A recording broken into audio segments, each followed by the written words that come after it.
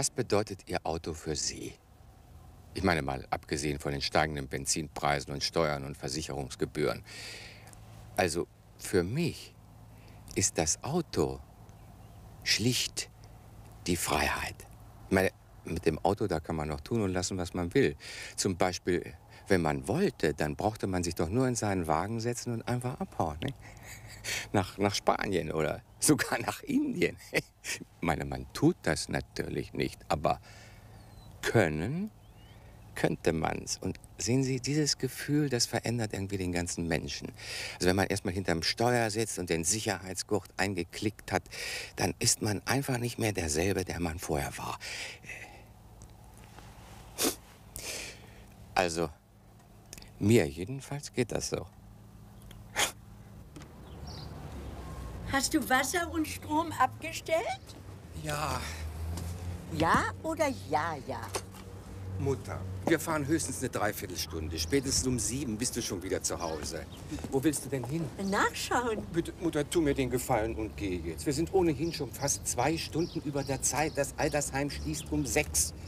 Jetzt ist es gleich halb fünf. Herbert, du hast doch gesagt, du fährst nur eine Dreiviertelstunde. Ja, natürlich. Na, dann ist doch gut. Jedenfalls theoretisch. Ich meine, falls nicht irgendwas dazwischenkommt. Ich möchte doch lieber nachsehen, ob alles abgestellt ist. Es ist alles abgestellt. Ja, ja. Warum sagst du denn das nun nicht gleich? Komm, schließ ab, bitte, ja? Aber zweimal. Zweimal. Sag mal, ist es wirklich notwendig, dass wir deinen alten Koffer mitnehmen? Für die drei Stunden? Nein! Der Koffer, der kommt mit. Da ist alles drin, was mir lieb und teuer ist.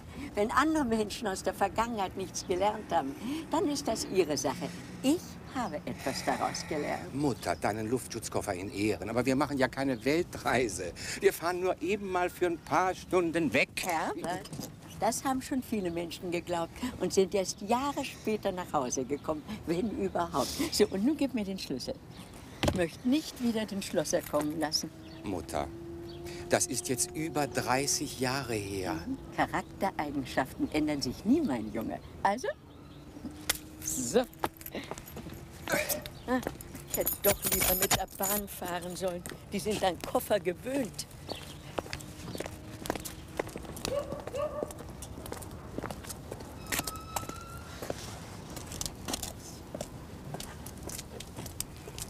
Ist irgendwas mit dem Wagen? Mit so einem dreckigen Ding wäre dein Vater nicht mal von hier bis zur nächsten Tankstelle gefahren.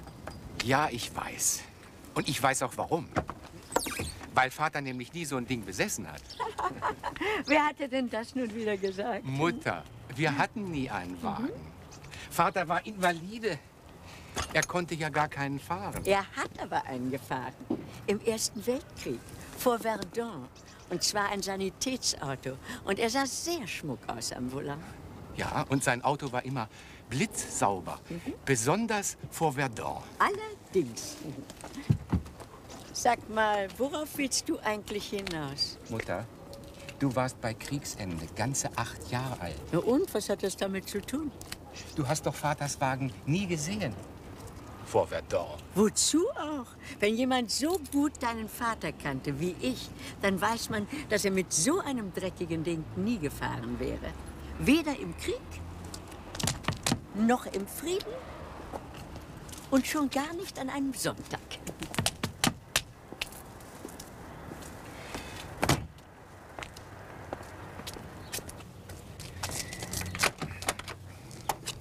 Sag mal, warum?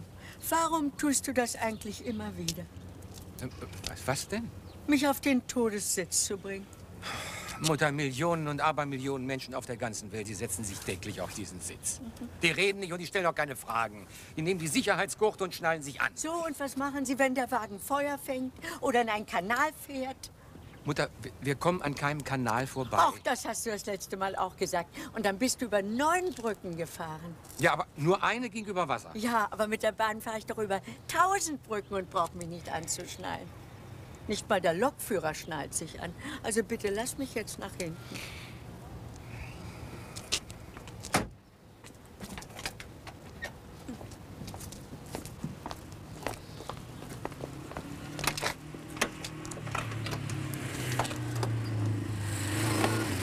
Idiot! Rowdy! Das kann einem mit der Bahn auch nicht passieren. Haben Sie das gesehen? Haben Sie das gesehen? Und sowas ist berechtigt, ein Kraftfahrzeug zu führen. Noch grün hinter den Ohren, aber schon die Mordwaffe unterm Hintern. Naja, Hauptsache bei der Autoindustrie raucht der Schornstein.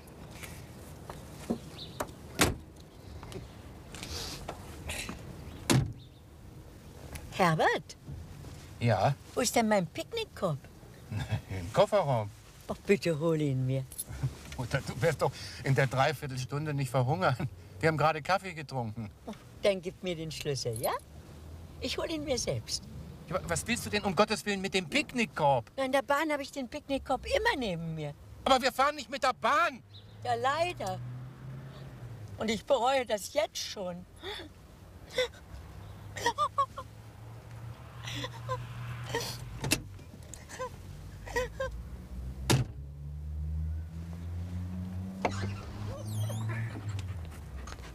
Ist was passiert? Äh, bitte? Na eben, der junge Mann mit dem Motorrad. Ach so, ja. Ach, diese Raudis, die haben ja immer Glück. Na, vom Glück können Sie wohl eher sagen. Wo Sie hier nämlich parken, ist striktes Halteverbot. Ja, das sehe ich. Ne? Ja, ja, ich bin ja nicht blind, ne? Ja, und wie kommen Sie dann dazu, sich hierher zu stellen? Entschuldigen mal bitte, was geht Sie denn das an?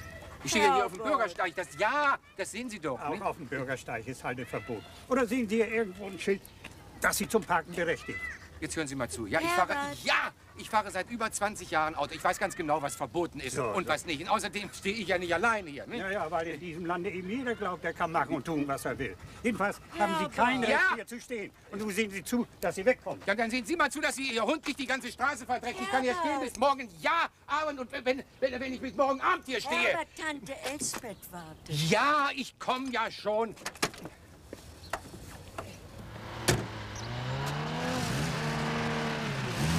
Herbert, pass doch auf! Passe auf. Aber wie soll man denn was sehen, wenn jeder hier seinen Wohnwagen hinstellt, wo es ihm passt? Jo, das noch. Eine Frau am Steuer.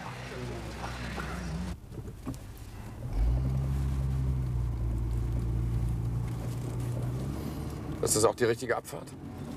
Ja, sicher. Ich glaube jedenfalls. Das heißt, ich glaube jedenfalls, ja oder nein. Ja, stand doch dran, Neunkirchen. Hier oben gibt es jede Menge Neunkirchen. Ja, du kannst ja zurückfahren, wenn du willst. Hör mal, du hast mit dem Mann telefoniert. Du hast dir die Adresse aufgeschrieben. Du wirst doch wohl wissen, in welchem verdammten Kaff dieser Zünder mit Heckmotor steht, an dem du mir geschrieben hast. In Neunkirchen, das habe ich dir doch schon gesagt.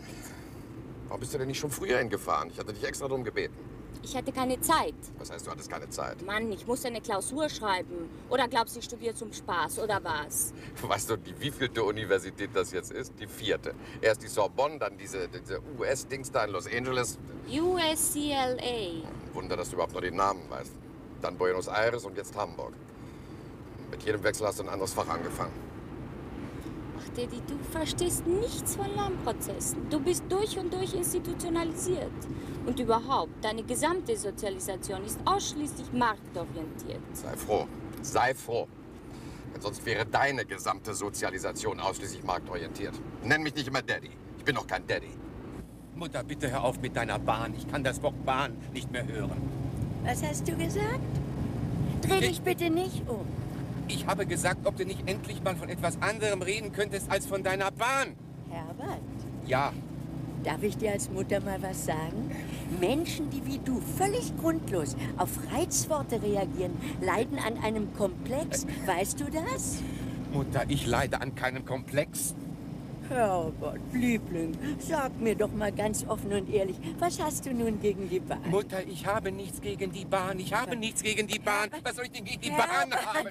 Denk doch mal nach. Seit zwei Stunden versuchst du doch unentwegt, die Bahn zu diffamieren. Das ist doch nicht normal. Dafür muss es doch eine Erklärung geben. Sieh mal, vielleicht hattest du mal ein Erlebnis, das du verdrängt hast. Ja, vielleicht in deiner Kindheit. Mutter, ich habe nichts zu verdrängen. Ich fahre lieber Auto als Bahn. Es ist angenehmer, bequemer, man ist unabhängiger, man fühlt sich freier ne? und, und billiger Ja, genau, genau, Herbert, das sind doch die Symptome. Jetzt wissen wir es ja. Du leidest an einem ausgewachsenen Bahnkomplex. Ach, Herbert. Also gut, ich werde dir sagen, warum ich mir diese blöde Zündab nicht angesehen habe. Weil mich deine scheiß Autosammlung echt anödet. Außerdem bin ich zurzeit ohne Auto. Was? Wieso hast du den neuen Ferrari etwa wieder zu Schrott gefahren? Streck dich ab, Daddy. Er ist in Italien. Ich habe ihn verliehen. Du den neuen Ferrari? An wen? An irgendeinen Typ, den du sowieso nicht kennst. So, bist du verrückt? Motz dich ja nicht auf wegen dieser albernen Blechbüchse. Ich krieg sie ja wieder. Diese alberne Blechbüchse hat mich 60.000 Mark gekostet. 60.000 sie. Weißt du, wie lange ich in deinem Alter dafür hätte arbeiten müssen? Oh, komm, Daddy, erspar dir diese Alibis für den Betriebsrat. Mir wäre lieber gewesen, du wärst persönlich an meinen Geburtstag aufgekreuzt. Und was war? Nicht mal angerufen hast du. Hatte geschäftlich in Teheran zu tun, das weißt du genau. Ja, du hast immer irgendwo irgendwann geschäftlich zu tun. Seitdem du auch noch diese scheiß Jet hast, kriegt dich kaum Mutter noch einmal im Monat zu sehen. Dich auch nicht, also werde nicht sentimental. Als ich meinen Herzinfarkt hatte, haben wir sechs Wochen nichts von dir gehört. Ja, kann ich denn vielleicht was dafür, dass ich in diesem blöden Nepal total ausgeflippt bin? Immer die gleiche alte Scheiße. Bitte würdest du dich in meiner Gegenwart etwas zivilisierter ausdrücken, ja? Bin nicht irgendeiner deiner Typen, sondern immer noch dein Vater. Du wirst auch von mir nicht erwarten, dass ich deine Stereotypen, systemimmanenten Handlungsnormen diskussionslos akzeptiere. Also mir scheißegal, was du akzeptierst und was nicht. Ich möchte jetzt endlich wissen, warum du nicht längst in diesem verdammten neuen Kirchenmaß. Glaubst du, ich habe Lust, mit dir hier in dieser Gegend rumzugondeln, bloß weil du zu schlampig bist, eine klare Terminplanung zu machen? Muss heute Abend wieder in Zürich sein. Ja, dann würde ich an deiner Stelle langsam nach Neunkirchen fahren. Ja, wieso? Das tue ich doch. Nein, das tust du eben leider nicht. Dazu hättest du nämlich vor drei Kilometer links abbiegen müssen. Herbert, Ja, Herbert, bitte halte mal an, ja? anhalten? Ja, Wozu? ich kann den Artikel nicht finden. Der muss in meinem Koffer sein. Was denn für ein Artikel? Na, den über Bahnkomplexe, den ich vorige Woche doch ausgeschnitten habe. Mutter, es ist Viertel nach fünf. Das Altersheim schließt um sechs. Wir haben noch mindestens 15 Kilometer. Selbst deine Bahn würde nicht anhalten, nur weil du einen Artikel suchst. Nein, die Bahn braucht auch nicht anzuhalten. Da habe ich ja meinen Koffer immer über mir, im Gepäcknetz. Mutter, wenn ich jetzt anhalte, dann können wir gleich umdrehen. Wir schaffen es nicht mehr. Es war nicht mein Vorschlag, mit dem Wagen zu fahren. Ach, was, Wagen? Wenn wir mit der Autobahn auf der Autobahn gefahren wären, dann wären wir schon seit Stunden da. Mach mich bitte nicht dafür verantwortlich, dass du dich in der Zeit vertan hast. Du weißt genau, wie ich diese Autobahn hasse, besonders sonntags. Und all diese Menschen, die einander besessen sind, sich gegenseitig umzubringen. Ich sag dir, Herbert, wenn all diese Leute mit der Bahn fahren würden, dann wären die Autobahnen leer.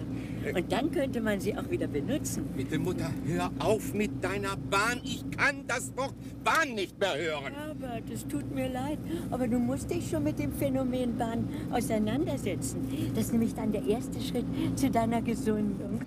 Die Ampeln gehen wieder mal nicht. Schlamperei. Da kommt ja einer entgegen. Warum bleibt denn der nicht stehen, der Idiot? Der sieht doch, dass ich vor ihm reinfahre. Idiot. Kann der nicht warten?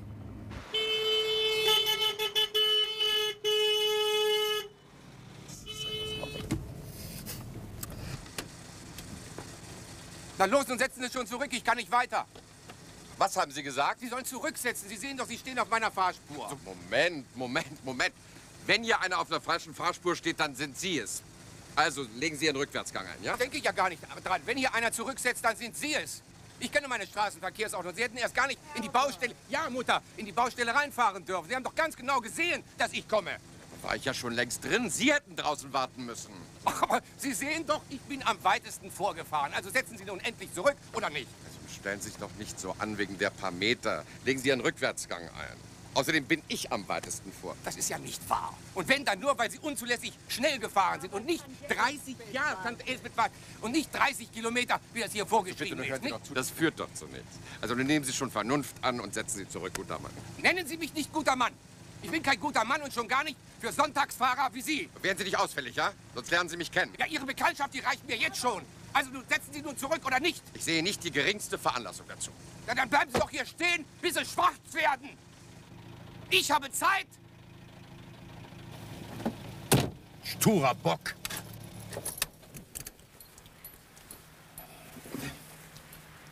Herbert, Mutter. Herbert, ich fände es einsichtiger und deiner Erziehung entsprechender, wenn du jetzt zurücksetzen würdest. Mutter, was verstehst du denn schon von Autofahren? Nichts, aber ich weiß, dein Vater hätte sich in solch einer Situation wie ein Gentleman benommen. Mutter, wir sind hier nicht vor Verdun, sondern 20 Kilometer hinter Pinneberg. Anstand und gutes Benehmen haben nichts mit Geografie zu tun. Ich finde dein Verhalten Tante Elsbeth gegenüber auch sehr unschicklich. Wir hatten ihr fest zugesagt, zu ihrem 70. zu kommen. Und du weißt, wie empfindlich diese alten Leute sind. Ja, ich weiß. Umso besser, dann würde ich die Konsequenzen ziehen. Mein lieber Junge, wenn man nicht im Recht ist, muss man es auch zugeben können. Ich bin aber im Recht. wer ist denn als erster in die Baustelle eingefahren? Ich. Und wer steht am weitesten drin? Ich. Also muss er zurücksetzen und nicht ich. Und das, das wird er auch tun. Und wenn wir bis morgen früh hier stehen müssen. Herbert, Herbert, du warst schon immer ein schlechter Verlierer. Mutter. Doch, doch, doch, erinnere dich. Seit du sieben warst, hat dich kein Kind mehr zum Geburtstag eingeladen. Und weißt du warum? Weil du dich wie ein Tobsüchtiger aufgeführt hast, wenn du nicht Erster wurdest. Beim Sackhüpfen. Sackhüpfen. Sackhüpfen. Es handelt sich doch nicht hier um Sackhüpfen, sondern um das ABC der internationalen Straßenverkehrsordnung. Und wenn dieser Angeber da drüben meint, er kann sich darüber hinwegsetzen, nur um bei seinem Flittchen Eindruck zu schinden, dann beißt er bei mir auf Granit. Ja, du kannst hupen, bis dir die Membrane platzt. Ich setze nicht einen Zentimeter zurück.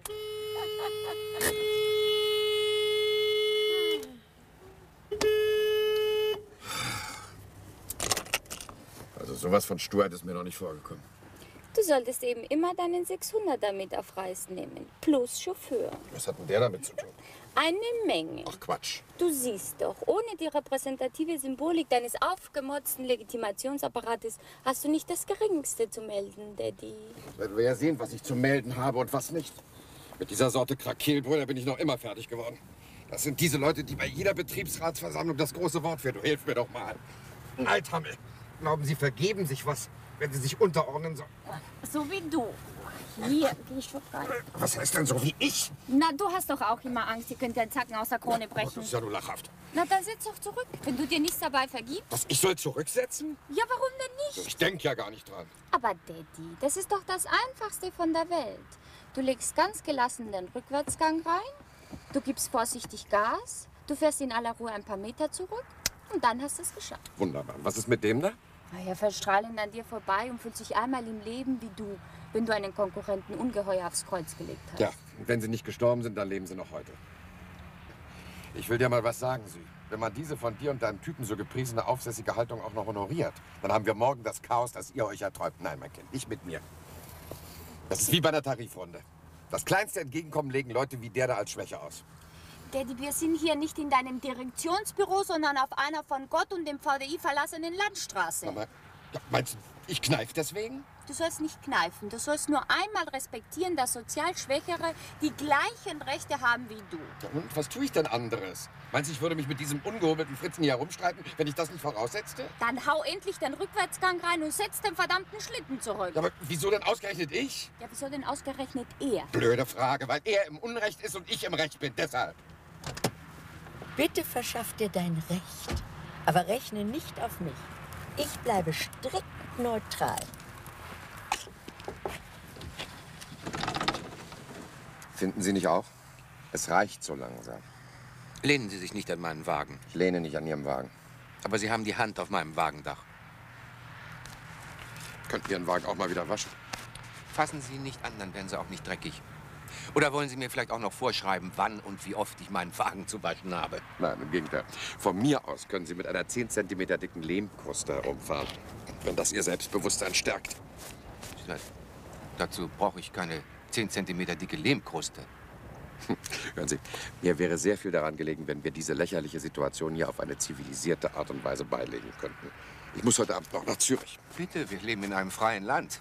Also, ich wusste doch, dass Sie vernünftigen Argumenten zugänglich sind. Außerdem ist es ja für Sie auch viel leichter, Ihren Wagen zurückzusetzen, als ich den meinen. Wieso ist das leichter? Das muss ich Ihnen als altem Autofahrer doch nicht sagen. Kleine Wagen sind wendiger. Man hat sie besser im Griff. Äh, Vor allem in so einem engen Schlauch wie diesem hier. Ach so. Sie können nicht rückwärts fahren. Warum haben Sie das nicht gleich gesagt?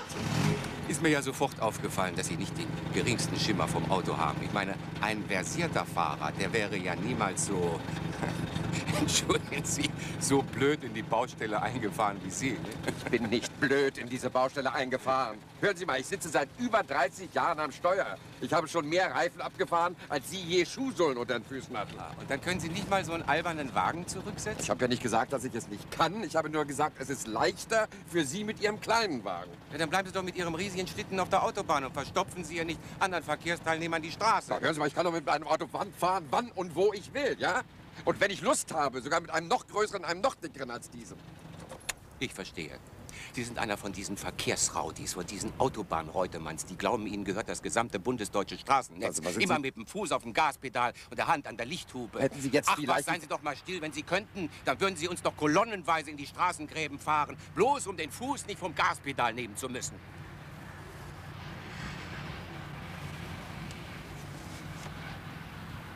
Sind Sie fertig mit Ihren Tiraden? Ja. Dann gebe ich Ihnen jetzt mal einen guten Rat. Gehen Sie zur nächsten Bank, holen Sie sich einen langfristigen Kredit und schaffen sich auch so einen Wagen an, sonst zerplatzen Sie doch eines Tages vor Neid. Ich zerplatze überhaupt nicht und schon gar nicht vor Neid. Und von Finanzierungsfragen, da verstehe ich wohl ein bisschen mehr als Sie. So, und dann fahren Sie so eine jämmerliche Klapperkiste. Das ist keine jämmerliche Klapperkiste, das ist ein, ein, ein sehr solider Mittelklassewagen. Was, dieser Schrotthaufen? Sehen Sie sich Ihren soliden Mittelklassewagen doch mal an. Wohin man sieht, nichts als Dreck und Rost. Wahrscheinlich waschen Sie deshalb Ihren Wagen nicht, weil er sonst auseinanderbricht.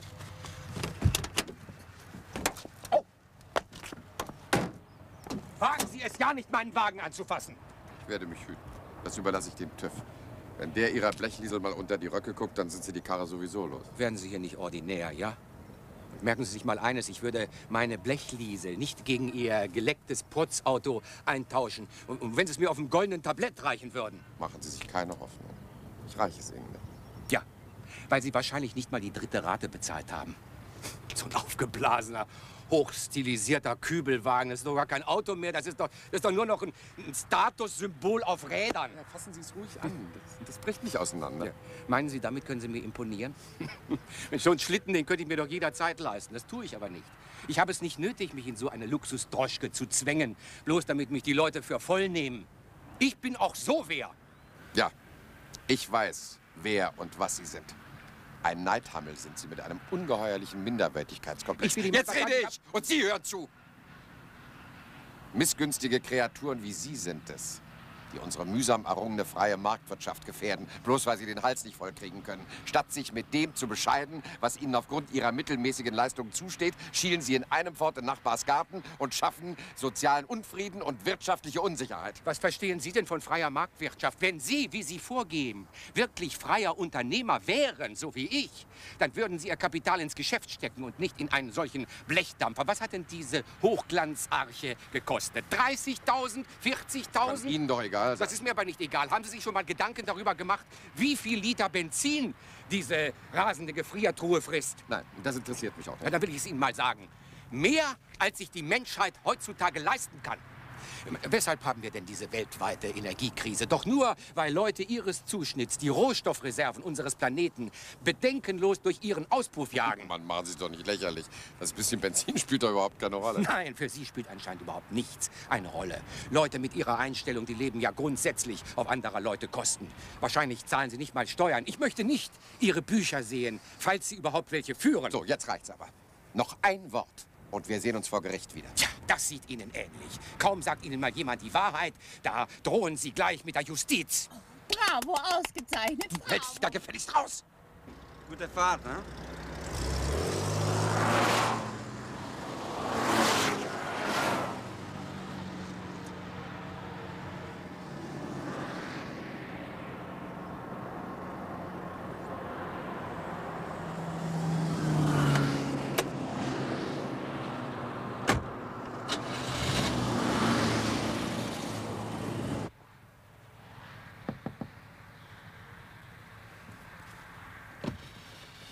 Verzeihung, haben Sie zufällig eine Lulle?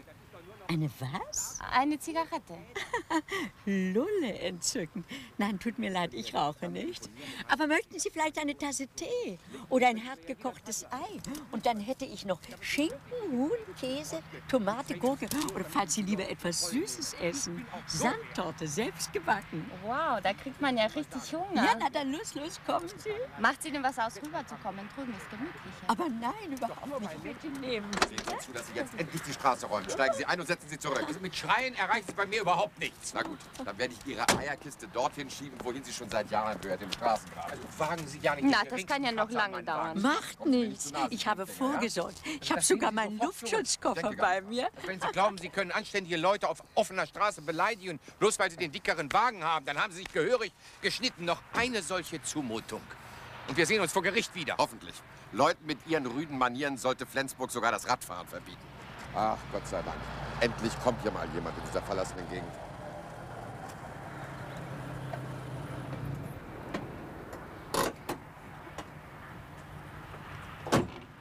Tag, meine Herren. Kann ich Ihnen irgendwie behilflich sein? Fink, UDOC. Bornemann. Nett, dass Sie gekommen sind.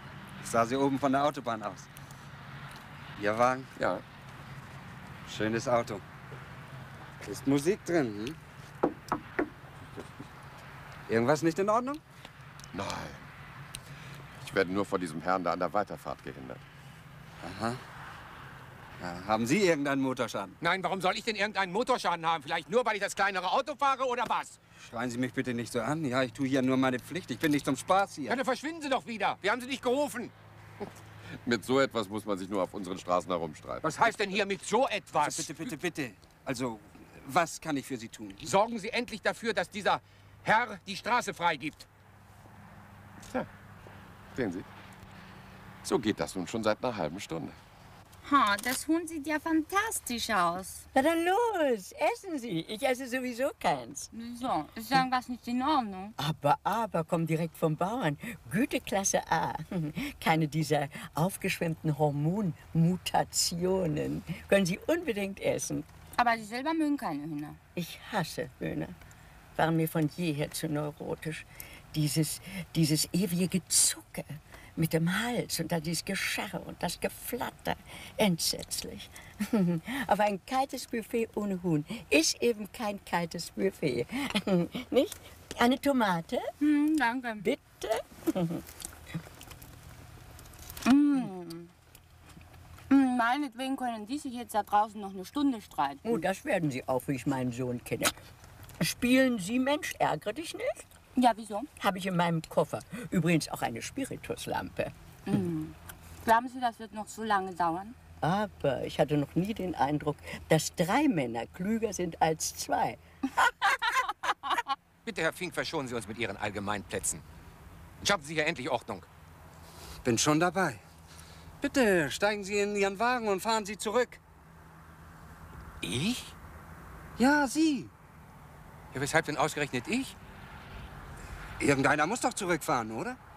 Ja, aber warum denn gerade ich? Warum nicht er? Also leisten Sie nun meiner Aufforderung Folge oder nicht? Ich denke ja gar nicht daran. Dann bleibt Ihnen wohl nichts anderes übrig, Herr Fink, als die Polizei zu rufen. Ich an Ihrer Stelle würde mir allerdings diese Unannehmlichkeit ersparen. Das ist ja das reinste Komplott. Nur weil ich einen kleineren Wagen fahre. Und dabei ist dieser Herr wahrscheinlich nicht mal Mitglied vom ODOC.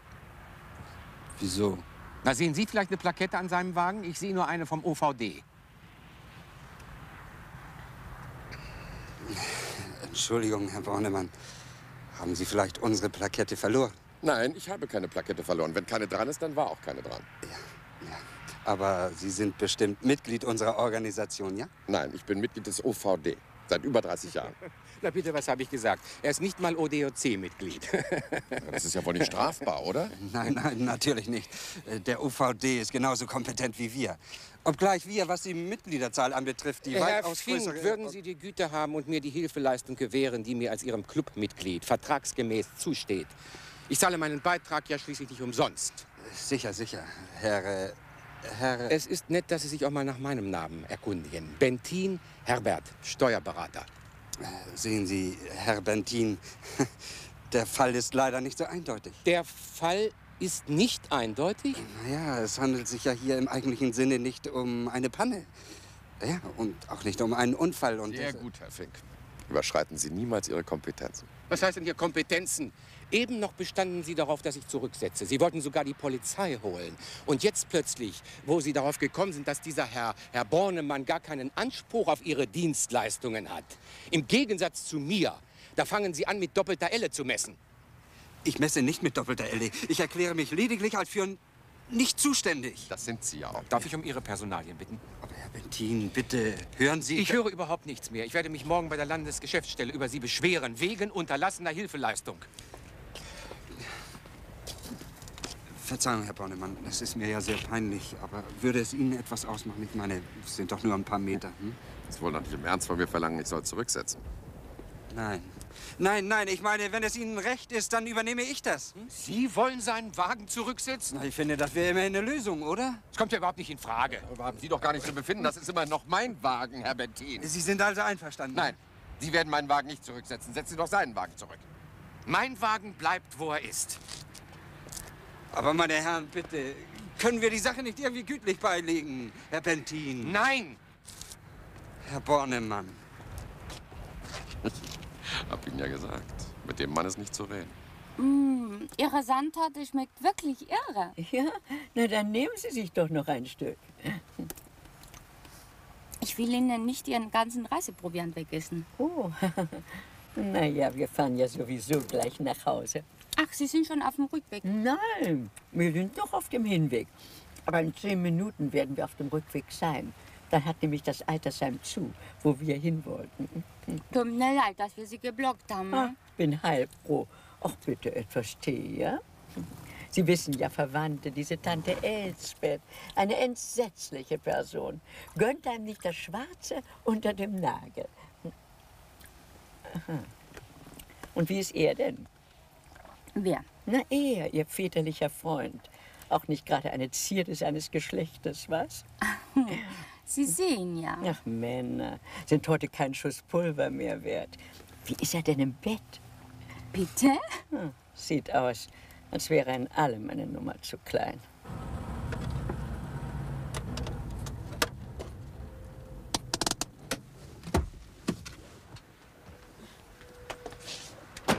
Tag allerseits.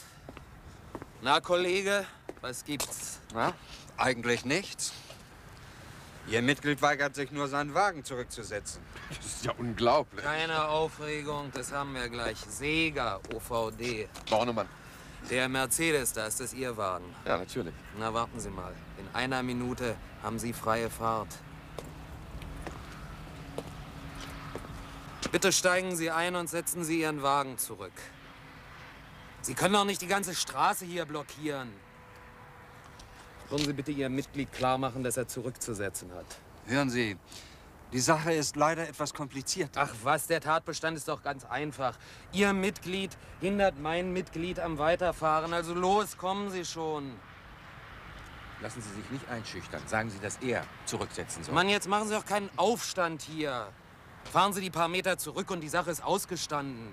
Sagen Sie ihm, wer als Erster in die Baustelle eingefahren ist und wer am weitesten drin steht. Lassen Sie sich nicht irritieren. Ich bin als Erster in die Baustelle eingefahren. Stehe auch am weitesten dran. Das ist nicht wahr. Mein Mitglied ist als erster in die Baustelle eingefahren. Woher wollen Sie denn das wissen? Waren Sie etwa dabei? Meine Herren, so kommen wir doch nicht weiter. Also passen Sie mal auf, ich mache Ihnen einen Vorschlag. Sie setzen beide Ihren Wagen zurück. Na, was halten Sie davon? Ich sagte Ihnen doch, die Sache ist leider etwas komplizierter. Mit dem werden Sie nicht viel Freude haben. Verheiratet ist er sicher auch. Ah, Sie müssten Psychologie studiert haben. Aber dazu brauchst du nicht zu studieren.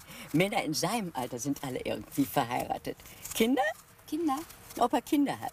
Ah, sind schon erwachsen, ne? Hm? Trotzdem haben sie keine Chance. Ah, Typische Midlife-Crisis. Soll ich Ihnen mal was sagen? ich bitte darum. Ich halte ihn sogar für einen Hochstapler. Nein. Aber ja, sehen Sie sich doch mal die Krawatte an. Typischer Aufschneider. Wahrscheinlich ist er bis über beide Ohren verschuldet. Ich gebe Ihnen einen Rat. Kochen Sie ihn ab und zwar schnell und dann adieu. Wissen Sie was, ich finde Sie zum Schießen. Ja, naja, Menschenkenntnis ist nun mal mein Hobby. Also so machen wir es. Ich messe von der vorderen Stoßstange Ihres Wagens bis zu Ihrer Baustelleneinfahrt. Und Sie von der vorderen Stoßstange seines Wagens bis zu seiner Baustelleneinfahrt. Würden Sie hier bitte mal das Ende halten? Ja, und Sie dieses bitte, ja? Danke. Also auf drei geht's los. Eins, zwei, drei. Prost! Cheerio. Ich sage immer, auf Sex und Nikotin kann man zur Not verzichten. Hm. Mein Gott, was machen die denn jetzt da draußen? Na, das, was Männer immer tun, wenn sie nichts zu tun haben. Sie versuchen Ordnung zu schaffen, wo gar keine Unordnung ist und hinterlassen ein Schlachtfeld. ah, wie wär's denn noch mit so einem Kleinen? Ah, gebongt. Ab Ja? 3% sage ich nie nein. Ach, Männer, sage ich Ihnen. Männer sind doch wie Kinder. Kaum lässt man sie unter sich, dann werfen sie sich mit Sand, wenn nicht mit etwas Schlimmerem. Na, wir Frauen sind auch nicht gerade Engelchen. Na, Gott sei Dank. Aber können Sie sich vorstellen, dass wir uns beide in die Haare kriegen, wer mehr PS unter der Haube hat? Wir wissen ja gar nicht, wie viel PS wir haben. Geschweige denn, was PS überhaupt sind. Was haben Sie gemessen? Äh, nichts sagen! Schreiben Sie es auf. Und Sie auch. Mein Gott, nun machen Sie doch nicht alles noch komplizierter. Ich mache gar nichts komplizierter. Ich versuche bloß ein bisschen Ordnung in dieses Verfahren zu kriegen. Darf ich bitten? Nun? Nach Ihnen. Wieso denn das? Mann, nun lesen Sie schon. Wir haben noch mehr zu tun. Äh, Langsam. äh, Ich schlage vor, wir tauschen die Zettel. Ich gebe Ihnen meinen und Sie nehmen seinen.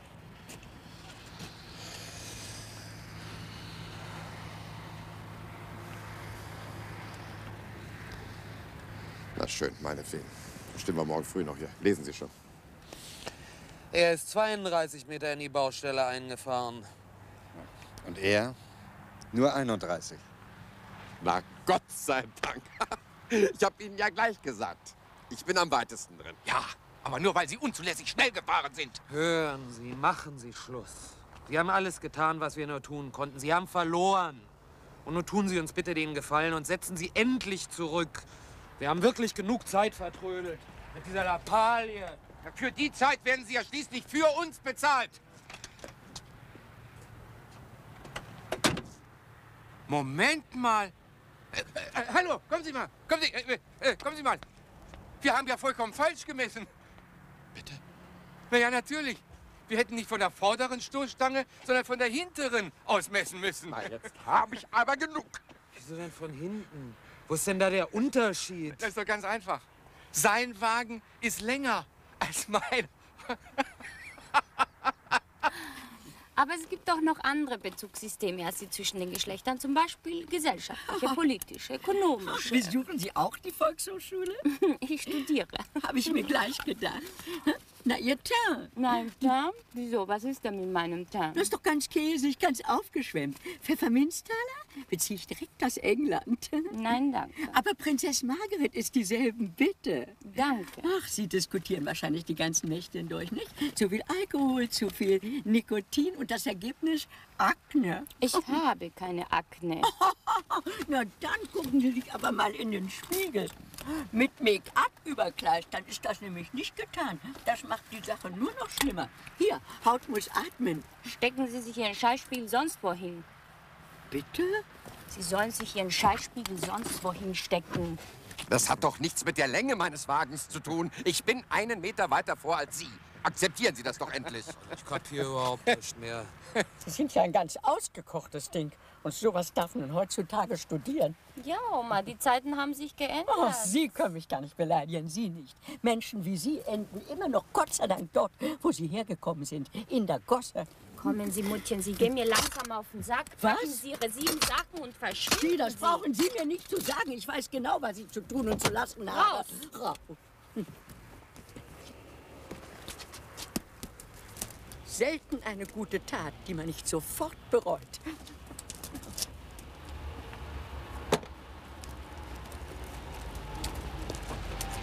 Was ist denn Mutter? Na, du hast ja reizende Straßenbekanntschaften. Mutter, äh, Die Fahrer der beiden Wagen hier sind wohl zur gleichen Zeit in die Baustelle eingefahren. Nun will keiner von ihnen zurücksetzen. So, na, das werden wir gleich haben. Tag, kann ich bitte mal Ihre Papiere sehen? Gerne. Ist was, Daddy? Nein, nichts, im Gegenteil. Gott sei Dank ist endlich mal jemand gekommen, der hier Ordnung schafft. Leihwagen? Ja. Ist Ihnen nicht gut? Nein, ganz im Gegenteil. Hätte ich mir ja gleich denken können. Gib an wie eine Lore Affen und kann sich nicht mal einen eigenen Wagen leisten.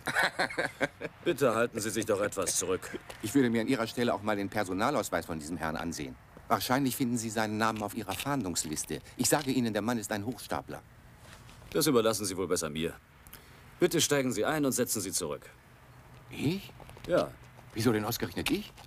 Soll er doch zurücksetzen? Oder gehen Sie auch danach, wer den dickeren Wagen fährt?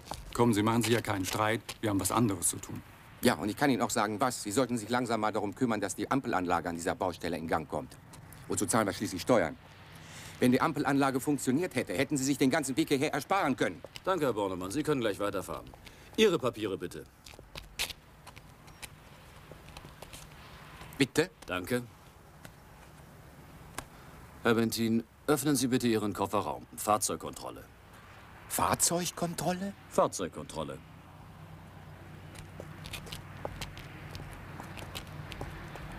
Falls Sie es eilig haben sollten, setzen Sie lieber zurück und wenden. Nein, nein, danke. So viel Zeit haben wir noch. Außerdem müssen wir da lang.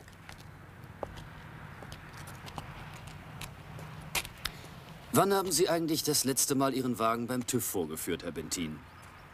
Na, so wie vorgeschrieben, vor etwa zwei Jahren, denke ich. Ihr Wagen ist seit drei Monaten überfällig, Herr Bentin. Das wird Sie eine Kleinigkeit kosten. Entschuldigen Sie, das muss ich übersehen haben, aber als freier Unternehmer... Ihr Warndreieck. Warndreieck? Ja. Hm.